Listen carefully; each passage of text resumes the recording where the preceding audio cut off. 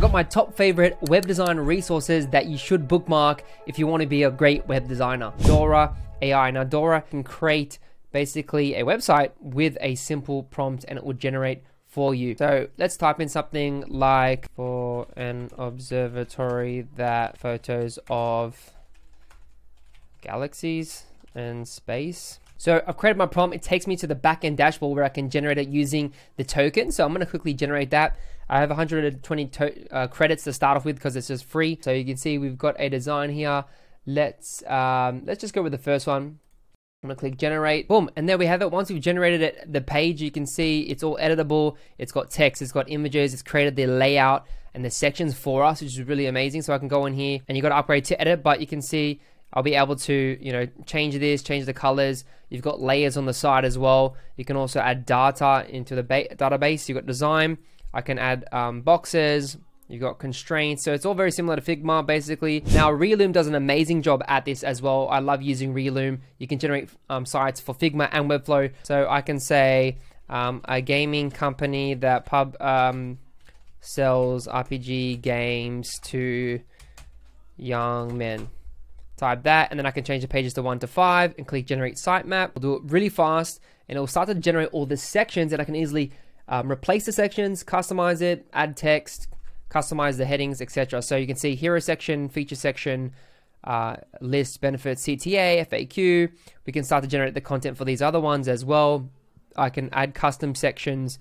You can see on the right, you've got nav bar footers, blank sections. And what I love is if I go to the top and click wireframe, it will start to automatically generate the wireframe and I can literally click copy, paste it into Figma using their Figma plugin or just copy straight from this uh, from Relume to Webflow and I'm done. And I can then I've got to just add the colors, the logos, and the design. Um, but you can see here everything is uh, editable. I can ask AI to customize it. You know, you can do a lot of different things here. Another alternative to Relume is actually TileBit. It's a bit more cheaper and they do have limited components, but at the moment they've got some great components that you can use and I can just pump it straight into Webflow. Um, so you can see here, for example, maybe I really love this header. I can left click on it and I can um, look at the categories, I can share it, I can save it, which is cool. And then if I want to copy it, I can copy it to Figma or Webflow. So if I just, uh, yeah, Framer and Webflow. So for example, um, I can copy, let's say, wait, let's go Figma and I'll just go into Figma and paste and boom, there you go. I can go into here, start changing the text, you know, change the color, do whatever I want to. And it's just amazing. Like, it's just super fast to create websites. Next up, we've got Flowbase. The Flowbase is a similar one as well. It's a component library, which is great for Webflow, um, also Figma and Framer, which is great. They do have some freebies as well. So if I click on components, then you what you want to do is select, say, we'll just click Figma for now, and I'll scroll down to the free license. You want to click on free. There is a pro version, obviously, um, but then say I want something like this, I'll click copy. For Figma, it will give me the code, and I'm just going to paste it right into there, and then I've got a frame of this um, nice feature section, which I can edit. So another great website, plenty of components, and if you want to upgrade, you've got heaps of stuff on that. Next one, we've got Landbook, one of my favorite sites for web and landing page inspiration.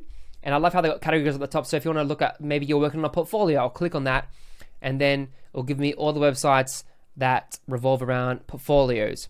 Uh, if I want to look at maybe um, pricing, Ones that focus on pricing, I can look at that, left click on it, and I can see the design. It gives you me the website on the right hand side, so I can left click on that, and it will take me to that website, as you can see there, which is super cool. Or I can just view the screenshot here, and get you know it gives you the style, categories. I can even look at the colors. If I click on the color, it will show me other websites with that similar green color that I clicked on, or whatever color you select. So this is just a great site for inspiration, um, and I'm always on here when I want to do a design uh, for a client. Next up, we've got Godly Dot website. Now, this is more tech SaaS um, type of vibe. Um, as you can see, we can filter by Web3, AI, SaaS. Um, so if I click on SaaS, it's going to give me all these cool ones. And, you know, I can left click and it's going to show me the design. If I click visit, it will take me to that website, as we can see here. And it looks beautiful, this website but it's just got heaps of different websites. This is completely free and it's just a great tool to get inspiration, look at what other brands are doing. I can filter by like dark mode or big background or gradient. So if I click gradient, you can see we'll get some specific designs that use gradients as you can see here. And if I click visit, it will take me straight there. Next, we've got dark dot design. Now, if you're a fan of dark design, designs that have sort of, you know, darker colors, they use black backgrounds, dark grays, dark colors, heart, like really, um, you know, whole bunch of cool, really cool, like modern websites. Um, as you can see, I'll click on this one, blockchain, and it'll take me to the website. Like this one is pretty lit. Look at this. This is some craziness. I got a robot and it transforms. Like that's pretty dope. If I go back, you can see it tells me the category, the framework, and also the CMS. So this one's on Webflow, no code, love that. Also got mobbin.com. This is another popular one. You probably already know this one. It's perfect for apps and looking at app screens from big um, brands. So I can look at websites. I can look at if I go on Android or iOS as well. Maybe I want to look at Burger King. Look left click, and then if I just click my arrow keys, it will take me to the next brand. Um, but you can see it's an onboarding. If I want to look at more onboarding, I'll click on that and I can see the whole process. And then basically it's what a lot of designers do. They just copy what already works. Like why try and reinvent the wheel? Just look at what other big brands are doing and then obviously add your brand, add your flavor to it. But Mobbin is just another great site for hundreds and thousands of just sites and brands. So you got plenty of inspiration there. Next, I got a color one. This one is Mesh Gradients, products.ls.graphics, Mesh Gradients you can download the full pack. Basically, um, you can get an AI file or a PNG, JPEG. So maybe I love this orange gradient or this pale chestnut. I'm going to click download and just right click save image as and I can just download that file just like that. It'll give me a WebP file and I can use that for Webflow, chuck it in a website if I want to. Uh, it's really easy to download, it's free, so why not try it out? Another inspiration website is inspovault.com. Now you can see I'm on the website category. It's got staff picks as well. So websites, it will show me the screens. I can left click on it. You can see some of the designs here. I think that's really cool. You can scroll through the website. You can click view. It will take me there. You can also bookmark things as well. So this is another great inspiration. Plenty of amazing sites on here. Next, we've got navbar.gallery. So this one's specific to navbars. You can also filter in the category. So maybe I want uh, screen, uh, sorry, a search bar. Um, maybe I like this one. well, just on Mobbin before, so you can see the Mobbin version. Uh, we got DeFi from Uniswap. You can see how their drop downs look like. Very clean, using dark grays with the drop shadow. Pretty cool. So if you're into nav bars and it's more complex sites, definitely check this out. We've also got Storytale.io. Now this one is really great for illustrations, 3D uh, assets, if I click on freebies in the top left corner, it will take me to the, to the assets. So I can filter, you can see maybe I want backgrounds or icons, mockups, or 3D. If I click 3D, you can see. I just want to scroll through there. Um, you can get the upgrade as well as the pro version. You can click on pricing. I'm going to go on illustrations as well. They've got some scribbles, which is cool, more organic hand drawn, and a bit of mockups as well. Or if you want to click on packs, I can look at all their packs here. So it's got a nice variety here. Next, we've got Contrast Checker. Now, Contrast Checker is great for when you're building a website and you want to see if the contract uh, contrast is great. So what I can do is, um, you know, I can change the hue. I can bring up the contrast, bring down the contrast, the lightness as well. So you can see here, it will tell you if it's a pass on the large um, or normal. And if it's a fail. So you can see here the text is now invisible. But if I bring it down back to dark, bring the blackness, it passes. It's good to test out um, different colors. So it's just accessibility. Some people, you know, can't see um, when it's bad contrast. So it's just a good way to deal with that problem. And you can change the fonts as you can see, and you can do a test here at the bottom. So next we've got typescale.com. If you want to build out a nice design system for fonts, um, you go on the left and you can change the scale. Usually I use like major third, minor third um, or major second usually. So you can see you can increase it. You can really do whichever one you want depending on the brand and the strategy and etc. I can look at the pixels. I can keep it on REM as well. I usually work with REM when I'm in Webflow. But let's just say we're in pixels. You can see 61 pixels there, 48 for the H3, H4, H5, H6, and it goes down to the paragraph as well, P and small. So um, you can check it on how it look like on the phone. If I click these little icons in the corners, Um, I can also just get rid of this as well if I do this one. You can change the text as well. You can change the fonts. You can change the line height as well, letter spacing, colors. Um, you really have full control over what it looks like. I can increase the size, but that's on pro version.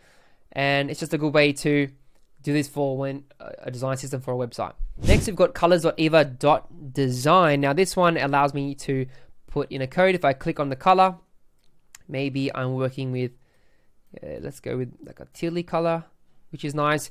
It will give me all the tints. So it will go from 100 to 900 and it gives me the code when I put my mouse over it. And if I left click, it will copy it. And then I can go to Figma and say, I want to change the color here. Boom. I can easily change the color of that font. And you can do it for all of these. So maybe we'll, you know, whatever brand you're working on, whatever. And then what you can do, you can actually lock these. Um, if you get the updated version, you can lock these and then you can just save these palettes, which is super cool. I can also click on the dark mode and it will change to that. And then I can actually export. So if I go to export, I can export as a JPEG and then I can download that and then I'll just drop it into Figma and I can copy the colors. Next one, one of my favorite ones is a footer.design. So this is specifically for beautiful looking footers for your websites. You can filter by typographic, illustrative, grid, so if I click on that, it'll take me to all the websites that have a grid style footer. For example, if I click on this one, this looks really cool. I like the lines there. You can click view website, it'll take you there and it shows you the styles and it'll give you some other um, similar sites to that as well. We go to animated, click on that, and let's say view website. I'll, I'll just scroll down that's a cool photo with the arrow there. I think that's really dope. So photo, another great design as well, and it's really easy to navigate. We've got Magnific, Magnific.ai. Now it can upscale um, images. So I'm going to quickly upload a simple image. Let me double click this one. And what I can do, I can do like, four, uh, if you go to four times, you have to upgrade, but let's just uh, keep it two times. And you can write a prompt and, uh, and you have limited credits, just keep in mind. So I've got the credit there. Now I'm going to go down and, you know, you can increase HDR, the creativity, um, resemblance, maybe bring that down. You got uh, fractality as well, so you can read through that. I would just use uh, automatic. You can also click optimize for, you can leave it on standard. You can do portraits, illustrations, video game assets, 3D renders. So if you want to do something specific, then click on one of those categories. You can see it's upscaled it. It's way better quality, as you can see. This is an image I generated on Adobe Firefly. So it's just made it a bit more sharper made it a bit better with the shapes. Um, you can do this with like images. You can do this with anything really, and it'll upscale it. Squash.app. Now this is a great quick website. It's similar to Tiny JPEG. So Tiny JPEG can um, do multiple images as well. But if you've got you know something that's really big, um, then Squash is like for quick images. I can literally um, drop a massive image. So I drop that in there it will retain the quality and reduce the size. So this one was 8 megabytes. Now it's dropped it by 93% in the right corner to 500. And it literally looks, the quality is pretty sharp. You can change, you can resize it. You can change the compression. Maybe if you want to go to WebP as well, we can do that. Um, you can increase the quality, say like maybe 80. You can see that it's pretty cool. And I left uh, left click on that image and I can just download it and it will give me that image. And now I've got this image there and the size is reduced. So this is great when you want to optimize images for a Webflow site or whatever website you're working on. Next, we've got starterwebsites.co, beautiful websites, another great place for inspiration. You'll probably see sites you've already seen on this one. Uh, let's just click on minimal and you can see some of these beautiful websites. Let's just click on this one, equipped. It's got the details on the right and I can scroll through. It looks really clean. Next, we've got minimal.gallery. This one is another beautiful website and functional websites as well. Got a whole bunch of different categories we can click through. Now this one's a unique one. It's called interfaceingame.com. If you are a gamer or you're building a website for a game publisher or a game studio, uh, then or maybe you're working on UI for a game itself, you can actually you know click on any of these and it will give you the in-game UI. So if I left click, roll through my with my arrow keys, I can see all the UI, I can download it, I can like it. It gives me all the game UI, which I think is super dope.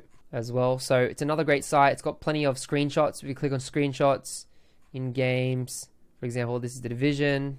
Even has animations like it's just really good. Next, we've got darkmodedesign.com, similar to the other um, website, but it's got sites that have you know dark style websites, dark colors.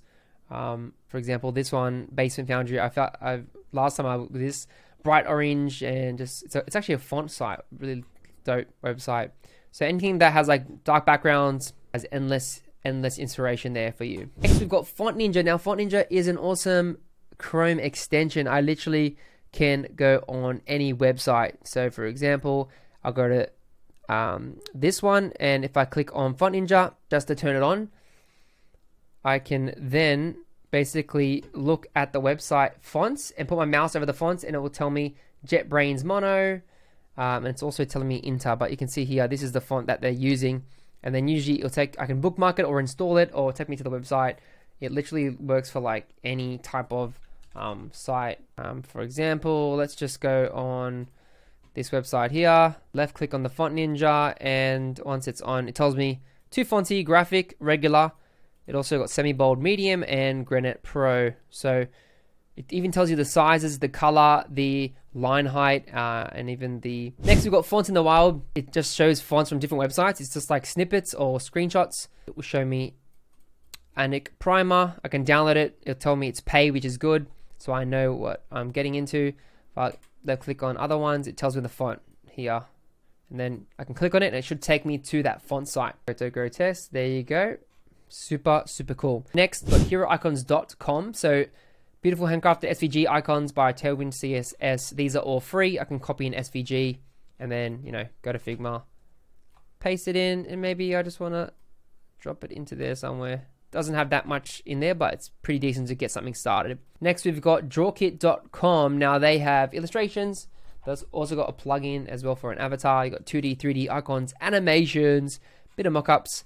Um, most of it is paid though. But say I want to click on this one, you can see they've got some really nice quality kits, um, different styles. You've got an isometric one here that looks pretty dope. So yeah, they've got really strong illustrative assets in this one. Next, we've got iconscout.com. They've got animations, illustrations, icons, 3D stuff. They've got a bunch of different things. So if I want to search maybe vector icons, you can go through there. I can go through the illustrations. They've got a lot of 3D stuff, so I think this would work really well. And they've got some lots of free stuff as well you can use. We've also got blush.design. I'm in their collection section. They've got uh, some free illustrations, some are paid, but it's just cool to, you know, download and drop it into a placeholder for a website while you're working on for a client, and then you can always invest in some other illustrations down the track. But beautiful stuff here. Love the style. It's very lots of variety. Next, we've got emaillove.com. If you design emails for clients, like say your MailChimp or something, you've got a whole bunch here. And it's really great. You got um, trends, or you can do categories. Maybe you want SaaS companies, see what they're doing at the moment. Uh, you know, we can look at Miro, and we can see how they structure their emails, like how they design it, or even this one. That's how they do their emails, which is super cool. Um, but yeah, plenty of ideas and inspiration for you there. So those are my top web design resources for you that's going to help you grow as a designer, as a solo agency owner, or if you're uh, someone just looking to grow your asset list. I hope this helps you. Leave a comment below if this was helpful and if you want more videos just like this, remember to subscribe because it helps the channel out, it helps me grow. I really appreciate it. And if you do want to get some other resources, I did a video about other graphic design resources that you can check out right here. And if you want to learn more about how to create a Webflow website or design a brand, I'll put some course links down below which you can get. I'll see you in the next video.